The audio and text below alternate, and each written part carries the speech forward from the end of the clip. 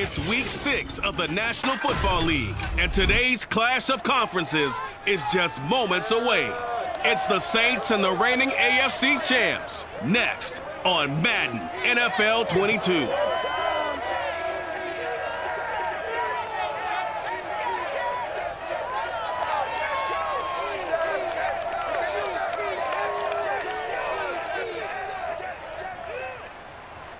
It's a picturesque afternoon for football in the Northeast, and EA Sports comes to you from MetLife Stadium, just across the Hudson River from New York City.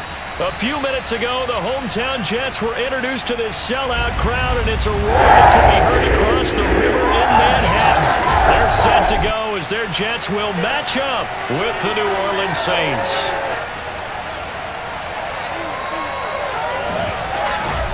Hi again, everyone, Charles Davis. I'm Brandon Gaudin, and Charles, you look at this Jets ball club. They were winners last time out, so they'll be looking, Charles, to make it two in a row.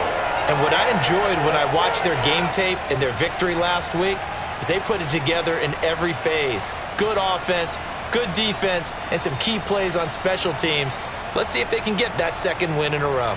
Meanwhile, for the visiting Saints, we're in October now, so everything, everybody should be coming into form, shouldn't they? They really should, and what you have now is a full routine established about what you want to get done and full focus on the season.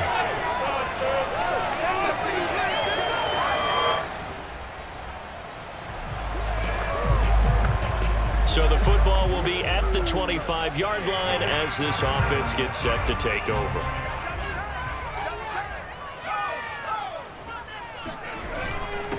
They'll run. This is Jonathan Taylor. And not much to speak of. Call it a one-yard gain up to the 26.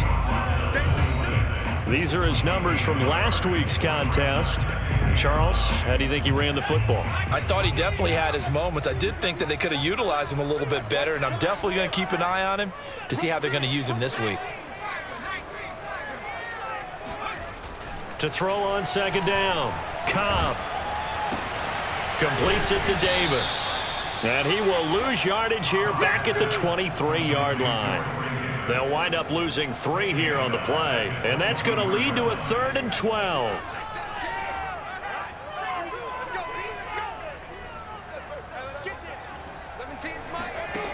Looking to throw. Cobb. They'll set up the screen to Taylor. And he will lose yardage on the play. Back at his own 19-yard line. So that'll go as a four-yard loss on the play. And that's going to bring up a fourth down. On is the punter man as he boots this one away. So a change of possession here on the punt. And the Saints will take over with a first down and 10. So out comes this offense to take over for the first time. And a glance here at their quarterback standing six foot three. Okay, I thought there was something to build on in last week's game by his...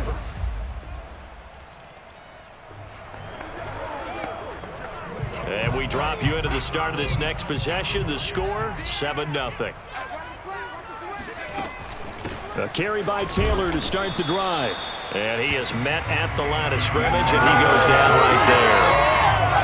Officially no gain on the play, and it's second down. Now, that's a mountain of a man that just made that stop, isn't it? But he's more than that. This guy's nimble and quick. More than a space eater. He just made a great play there. And going deep for Hill. That's caught inside the 20. And he'll be down deep into New Orleans territory. Big yardage that time for the Jets. A real field flipper there as all of a sudden they've got a first down in the red zone. To the right side, this is Taylor. And he's going to take it in for a Jets touchdown. Jonathan Taylor, his sixth touchdown of the season. And the Jets are an extra point away from tying this thing up. A solid blocking up front from the guys on the offensive line allowed him to get in for the touchdown. Yes, sir. Jets offense coming up now to start their next drive. Now they have the game here followed by the open date on their calendar next weekend. And Charles, this is a crew that you have to think really is relishing the opportunity to be on the couch for a few days. Yeah, they certainly are, but let's face it, partner. They can't get caught looking ahead to that couch time while they're playing this one. They've got to take care of business first.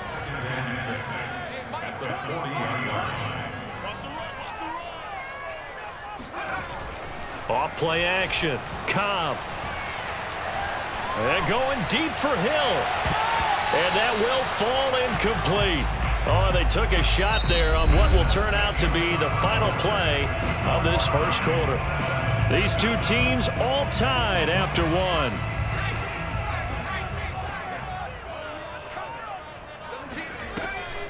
On third down, here's Taylor. And he'll lose yardage on the play back at the 37-yard line. He lost two, and it brings up fourth. Here's Braden Mann now as he'll punt it away for the second time.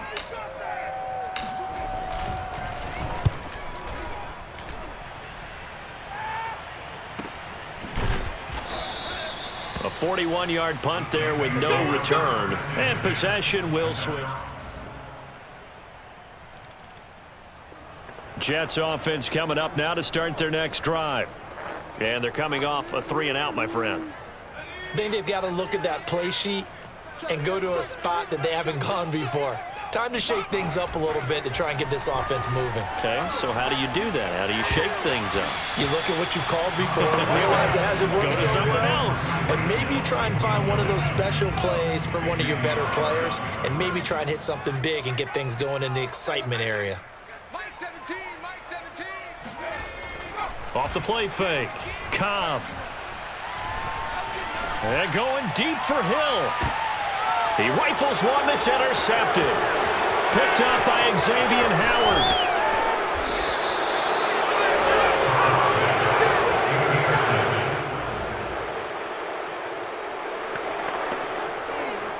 So the football will be at the 25-yard line as this offense gets set to take over. They go back to the air here after the INT on the last drive. And bringing it in, it's Davis. And he'll take this to the other side of midfield before going out of bounds. Brandon, so many times we see the crossing route start as a quick hitter, but in this play, he had time in the pocket and waited for him to clear going across. On first and 10, Cobb. That would almost intercept it, but it's incomplete. Not a good throw there, and it'll be second down. But nearly another interception there. That would have been two drives in a row with a pick. He's got to start taking care of the ball way better than what we're seeing. Interestingly, that throw was probably worse than the one he threw the interception on last drive, but fell incomplete. He's going to let this go. Back of the end zone. And, oh, it's incomplete. Oh, that would have been six points, but somehow he couldn't rein it in. And I think they'd be well served to take that type of a physical approach against him the rest of the game. He's had his way so far, but on that last one, that worked quite well for the defense. So now third and 10, a big play to start the drive, but nothing since. Back to throw again. And a big loss here as he's taken down. The Saints going to call the first of their timeouts. So as they take it over, we step aside. Here's the Jets punter now as he's on to kick it away.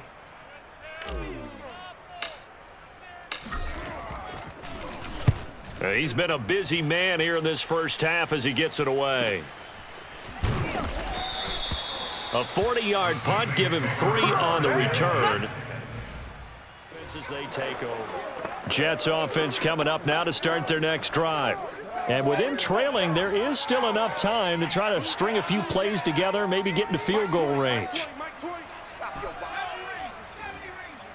Mike 20, Mike 20. Army, Army. Army, Army. On first down, Cobb. Six man. And going deep for Hill. And that's caught inside the 35. And all the way down to the 29 the Jets going to use the second of their three timeouts as the clock will stop with 33 seconds to go in the first half. So that changes things in a big way. Now from all the way down inside the 30, here's first and 10.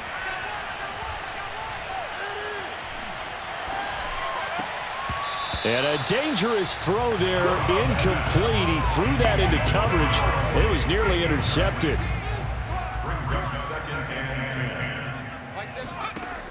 He'll try again with the arm here on second down. And he'll get this into the hands of Hill, complete. The Jets going to go ahead and use their final timeout as they stop it with 19 seconds to go in half number one. So it's first and goal and a great opportunity to get that lead back before the break. They'll stick with the passing game as he looks to throw. And that is pulled in by Herndon for a Jets touchdown. As the first half is winding down. And the Jets can take the lead now with an extra point.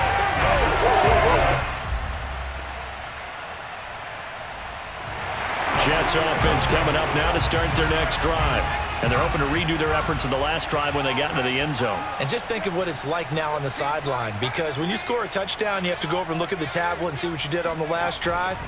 When you scored points, it's a whole lot better view than when you're trying to figure out how to fix things there. He pushes through a would-be tackler to get about three yards, second down. In the first half, he was held in check on the ground, but despite that lack of production, they still have the lead. And they've got to feel fortunate about that. If they could actually get production from their lead horse, that would help open up this offense and widen this margin, too. And they get him down, but not before he takes it across the 40-yard line. And defensively, they were in zone coverage there. Do you have to be a little careful you're losing playing against a good quarterback like he is to not play too much zone? Yeah, you have to be careful about how much time you're giving up. I think it's a good point you just brought up. So maybe if you still want to play zone, you go to a zone blitz scheme. And you can drop anyone out of your defensive front. Defensive end, defensive tackle. It doesn't matter. You just exchange someone to bring more pressure towards the quarterback and still try. Got a man, it's caught. Touchdown, Jets. Tyreek Hill his sixth touchdown of the season. And the Jets find a way to stretch their lead. Well, he's been doing this for a lot of years with the arm strength still there, and he showed it off on that one. And I'm telling you, nothing will light up a crowd more than a play like that. Here in the stadium, all eyes were on the receiver streaking downfield, and you know everyone was thinking, throw it, he's open. Jets offense coming up now to start their next drive. And for them, a touchdown their last go-around. Obviously, they'll be hoping to do that again. And when you start plotting for this drive, when you start thinking to yourself, okay, what are we going to do? You don't go away from what you did before because that worked, but you have to be prepared for wrinkles and counters because you know they'll make some adjustments. And going deep for Hill. Oh, this is taken in. It's complete. And all the way in. Touchdown,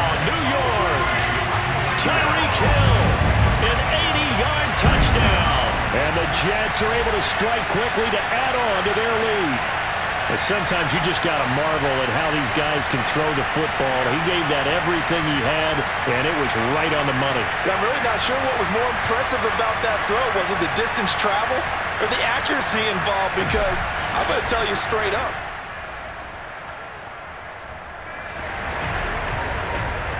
Third quarter action, and this offense will have a first and 10 as they get set for the next drive. They'll run with Taylor to begin the drive. And shedding through the tackle. And he'll be out of bounds after getting this one across the 40. Just what you want on a first down run. Call it eight yards. And it's second and two. They go to the ground again with Taylor. And he'll be taken down at the 46-yard line. Second and two is prime time for a little bit of a gamble, isn't it? Open up the playbook, go play action, toss that bad boy deep. But in this situation, go ahead and give it to your back. Let him pick up a first down. Keep the sticks moving. Taylor's got the first down and more. And down to the 27-yard line. 63 yards on the ground for him now on nine carries. Well, you certainly have to give a little credit here because they're playing this game now at their pace. This is ball control football, sustained runs, taking their time, and making it work. Open man is Hill. He's got it. And down he goes, taking it inside the 10, just shy of the 5 at the 6. Well, this is a defense that's definitely on their heels now because they gave up the running play for good yardage one play ago. Now the pass here sets this offense up first and goal. They're going to have to dig in strong now. And he's in. Touchdown, Jets. Jonathan Taylor with his second touchdown of the game, number seven on the year. And the Jets get another third-quarter touchdown to add on to that lead. And he certainly played a pivotal role. Jets offense coming up now to start their next drive. Now, there are two scores on the plus side. Still time here in this fourth quarter, but maybe you start thinking about playing keep away? Yeah, I think here's the situation. You're not thinking touchdowns anymore. You're just thinking first downs to keep up with your theme there, playing keep away. First downs, they can't touch the ball. One play has him up past the 40 already and another first and 10. They run with Taylor. And he's going to bowl his way forward to the 48. It's a six-yard gain on the ground, and that'll make it second and four. Oh, that's one to warm the hearts of all those old-school football players, isn't it? Tough, hard, gritty run, got behind his pads, bowled over a few people. Look at that one, right up the gut. Saw through three quarters, no reason to lighten up now. Now a pass that's taken in by Hill. And he'll go down, but not before getting this inside the 30. I like that they're staying aggressive on offense because to me, this drive is what is known as a put-away drive. You score here, that might put this one to bed. I like the fact that they're playing with confidence and not playing with fear. Clock running under four to play now as they come up on first and ten. Off the bootleg. Cobb this one's incomplete. They've given up a few first downs on this drive, but getting the incompletion there, that should give them something to build on and maybe turn the tide. On second down, it's Taylor. Stops short of the 25. The second effort couldn't free him. They do get a yard there, but only a yard. Leaves them with third and nine looming.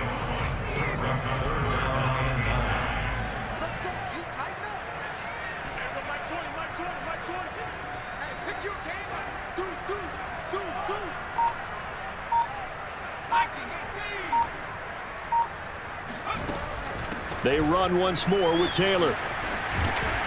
And he'll get this to the 23, but that'll be well short of what he needed. It'll be a gain of four, but it won't be enough. It leaves him with a fourth down now. Oh, it's no good. Carlson pushed it to the right. And this score will stay right where it is. Now this one... Jets offense coming up now to start their next drive. And a few kneel downs should just about do it. Now, defensively, they do have all three timeouts, but very little reason to use them at this point. A run there on first down and a pretty good one of five yards, so make it second and five. The Saints going to call the first of their timeouts as they'll talk things over prior to this upcoming second down play. Again, it's Taylor. And he'll get it down here to the 43. Now we'll get a quick timeout called by New Orleans, number two. And they'll be disappointed to have to burn one there after giving up the first down.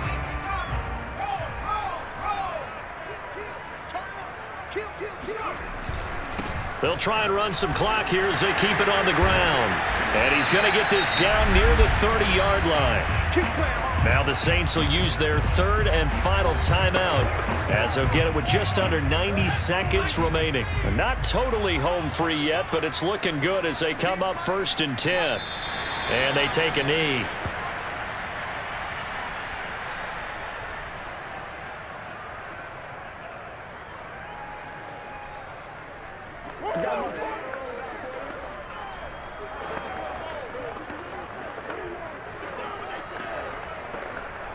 Second and 11 now.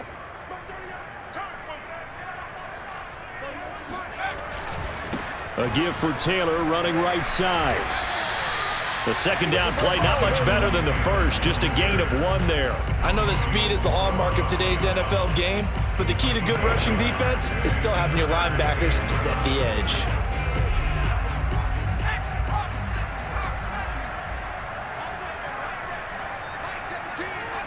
The Jets with victory seemingly in hand, they take a knee.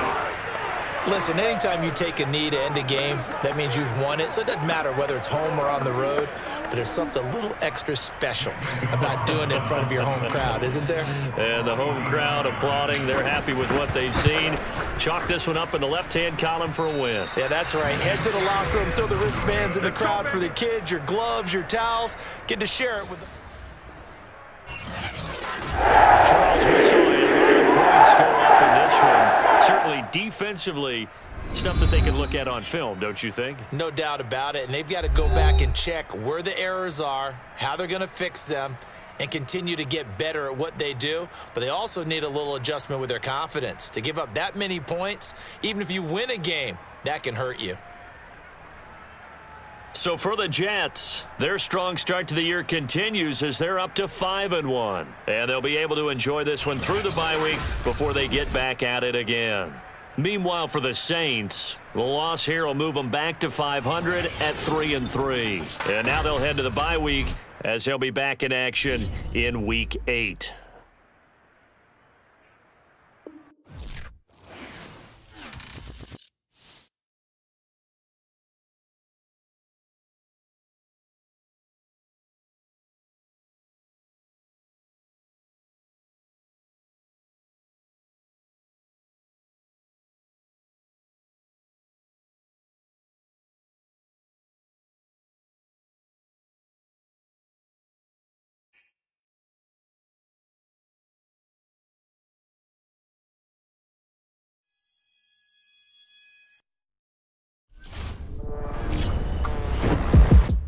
I was talking with my crew before the show.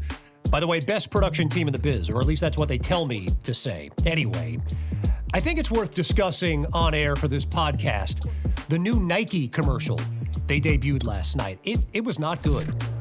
It was amazing. You get all these dramatic shots with NFL stars like Lamar Jackson and Russell Wilson. But get this the final shot, they reserve it for the rookie QB from New York as he puts on his Jets helmet and just stares a hole through the camera. I'm talking a serious mean mug. I mean, look at this. I'm getting goosebumps just thinking about it. Of course, some people just can't enjoy a good thing. They're saying it's too much, too soon, blah, blah, blah. But look, that, that's the get off my lawn crap. Oh.